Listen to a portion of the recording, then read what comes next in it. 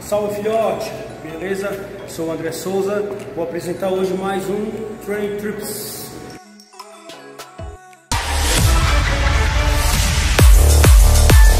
Vamos lá, postura, mão na guarda, executa o movimento circular. Bati, voltou a postura, novamente, um, voltou, mais uma vez, aqui, lembrando, o movimento do braço tem que estar sempre esse ângulo, protegendo o seu queixo. Curtinho, de outro modo.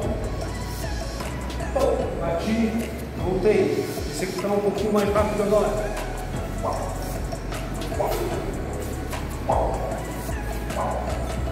Beleza? E aí, gostou da dica? Em breve postarei mais dicas de artes marciais. Tamo junto. Ah, e não esqueça de marcar hashtag Aprendi com André.